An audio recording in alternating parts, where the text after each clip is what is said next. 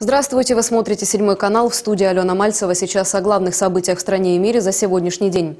Верховная Рада утвердила законопроект, который предполагает увеличение численности вооруженных сил Украины. Напомню, проект закона внес парламент президент. Документ предусматривает увеличение численного состава до 250 тысяч человек, из которых 204 тысячи военнослужащие. В пояснительной записке к законопроекту отмечается, будут созданы два управления оперативного командования, 11 бригад, 4 полка, 18 батальонов, 16 отдельных рот и 12 взводов разного назначения. Замминистра обороны Петр Мехет, представляя законопроект, отметил, в особый период численность вооруженных сил Украины увеличивается на количество личного состава, призванного на военную службу в рамках мобилизации. Кроме того, украинский парламент разрешил засчитывать мобилизованным время, проведенное на службе в стаж. Это даст им право получать пенсию на льготных условиях. Граждане, призванные на военную службу до внесения изменений в закон, могут рассчитывать на пенсию на льготных условиях, если на момент призыва получали образование или занимали должность, предусматривающую назначение пенсии на льготных условиях. Кроме того, Верховная Рада утвердила новый выходной в День защитника Украины 14 октября. А тем временем в зоне АТО завершился отвод 100-миллиметровых орудий от линии соприкосновения. Сейчас продолжают отводить тяжелые вооружения калибром 152 мм. Таким образом, Украина выполняет подписанные в Минске мирные договоренности. Збройні сили України готові з завтрашнього дня почати відводити реактивні системи залпового вогню ураган. Передислокація важкого озброєння на підготовлені заздалегідь майданчики відбувається під постійним наглядом моніторингової групи ОБСЄ та представників українських та міжнародних засобів масової інформації.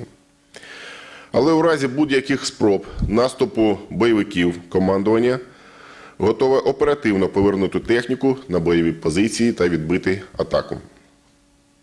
Водночас противник проводить активне переміщення своїх сил, зокрема на Волноваському напрямку, а також намагається приховати озброєння та військову техніку в ангарах та сховищах.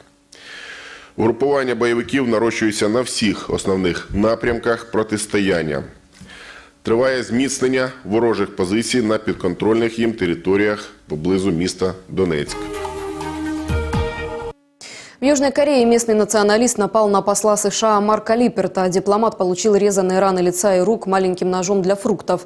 Он доставлен в больницу, опасности для жизни нет. Нападавший задержан. Власти обещают провести тщательное расследование и приложить все усилия для защиты иностранных дипломатов и зданий посольств.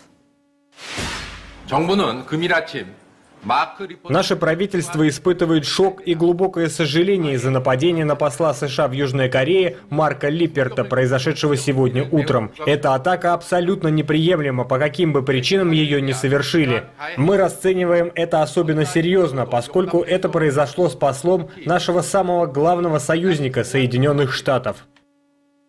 Посол направлялся на форум, где должны были обсуждать воссоединение двух Корей. Нападавшим оказался 55-летний кореец. Он был одет в традиционную одежду и кричал, что Северная и Южная Кореи должны объединиться. Липерт вступил в должность посла в ноябре прошлого года.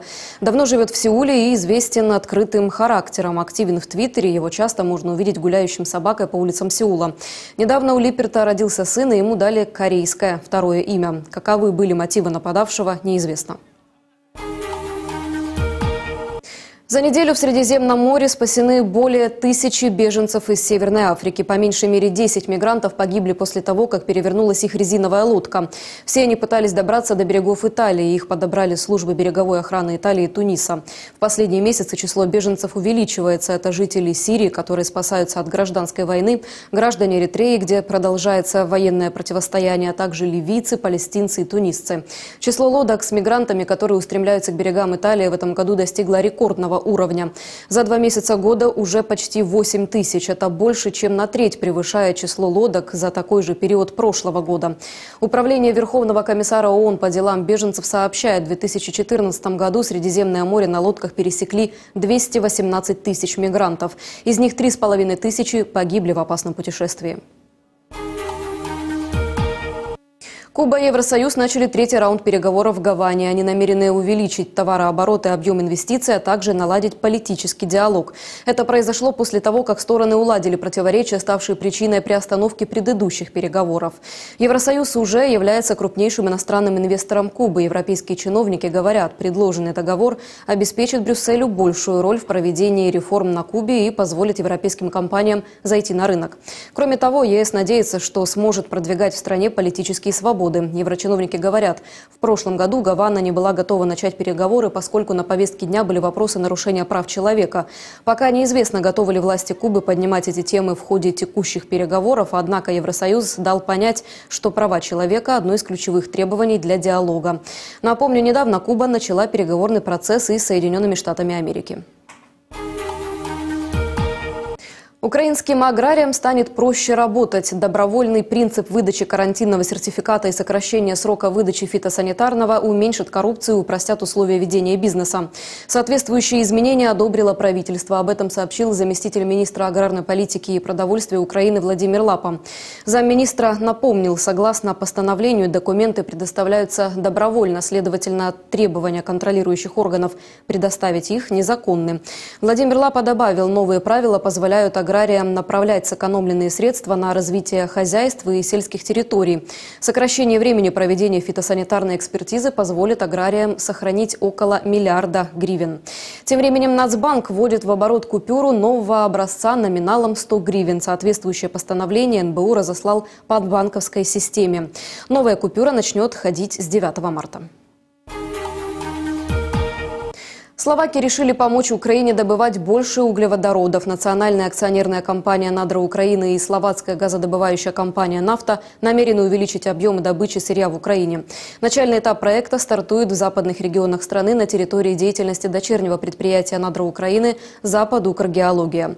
Тем временем в Нидерландах сокращают добычу газа на Гронингенском месторождении. Работы там стали причиной землетрясения. Искусственно вызванные катаклизмы повредили десятки древних церквей. Подробнее в следующем сюжете.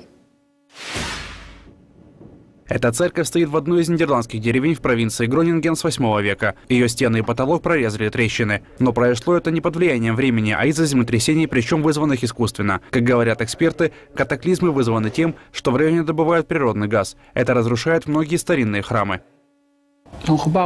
Мы не можем потерять подобные здания. Политикам надо обращать внимание именно на это, а не рассматривать проблему с позиции экономики. Купить можно много вещей, но деньги не заменят это здание, его оригинальность. Мы можем разрушить его и отстроить заново, но тогда у нас не останется средневековья. Гронингенское газовое месторождение крупнейшее в Европе.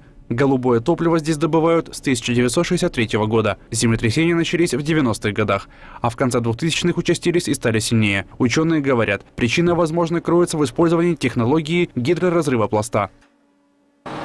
Uh, uh, Мы знаем с начала 90-х годов, что есть связь между добычей газа и uh, землетрясениями. Но газ играет важную роль в энергетическом балансе страны. Примерно 98% нидерландских семей подключены к газопроводу Гронингена. Это важно и для них, и для нашей экономики.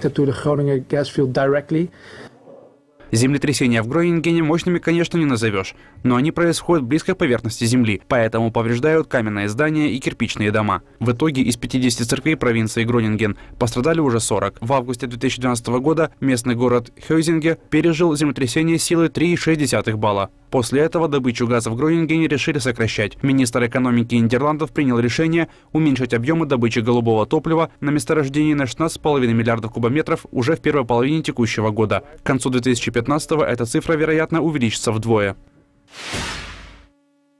А вот голландские пекари тем временем практикуются в маркетинге. Пока в Гронингене сокращают добычу газа, в городке Пюрмерент ловят уже ставшего знаменитым филина-агрессора. Булочники не растерялись и придумали, как заработать на этой истории. Они испекли кексы в виде птицы. Филины со сливочным кремом, марципаном, шоколадом и сахарной глазурью распродаются мгновенно. Они пользуются спросом, сложно удержать их на полках. Люди приезжают за этими кексами издалека. Может быть, заодно хотят бросить вызов опасности. В новостях в США и Азии показали эту историю как страшилку. Напомню, Фили начал нападать на жителей Пюрмеренда в Нидерландах еще несколько недель назад. Пострадали около 20 человек. Некоторым даже пришлось обратиться в больницу. Но разрешение на поимку птицы местные власти смогли согласовать совсем недавно, поскольку филины этого вида находятся под охраной. Как именно и где ловят, не разглашают, чтобы избежать зевак. Ранее сообщалось, что для спецоперации могут привлечь соколиного охотника. Ну а пока местные жители в целях безопасности с наступлением темноты продолжают ходить с зонтиками. Женевский автосалон представил оригинальные дизайн-концепты. Один из них презентует компания «Ринспид». Это роботизированный автомобиль. Он оснащен необычным рулем и умным автопилотом. Подробнее о последних авторазработках смотрите далее. Швейцарская компания Rinspint, известная своими незаурядными идеями, представила на Женевском автосалоне новое удивительное детище – концепт Car Buddy. Машина построена на базе ретромобиля BMW i3. В ее салоне царит едва ли не фантастическое будущее. Рулевая колонка особой конструкции с легкостью перемещается от водителя к пассажиру, а значит любой из них может управлять автомобилем. При желании можно довериться умной машине, и она самостоятельно доставит вас по заданному адресу. Особенность Бади в установленном здесь манипуляторе. Это символ рабомобилей будущего, которое наступит, возможно, через 5-10 лет. Теоретически он может быть и праворульным, и леворульным автомобилем. Руль также можно сложить, и машина поедет самостоятельно. Но на этом новаторские идеи создателей не заканчиваются. Они позиционируют свой концепт-кар как друга на колесах. И дело здесь не в любви к автомобилям. Просто эта машина подстраивается под водителя, запоминает, как он настраивает сиденье, какую предпочитает температуру в салоне и какая музыка ему нравится больше. Умный робомобиль также запомнит рабочий адрес своего хозяина. Это новая технология, и мы только начинаем привыкать к ней. Это как интернет, появившийся 20 лет назад. Тогда тоже было немного страшно. Сегодня аборигены цифрового мира ничего другого, кроме интернета, не знают. Это вопрос адаптации поколений. И я уверен, что наши внуки однажды скажут, «Дедушка, вы были водителями, водили автобусы. Надо же, сейчас машины это делают сами». Автопилот управляет машиной, основываясь на данных лазерного сканера, закрепленного на телескопической штанге. Видеокамеры высокого разрешения создают трехмерное изображение окружающей среды. Автопилот знает обо всех препятствиях на дороге, а также об изменениях дорожного покрытия. По словам разработчиков, все это гарантирует пассажирам безопасность передвижения. Это были главные события из жизни мира и Украины на сегодня. Всего доброго и до встречи в эфире.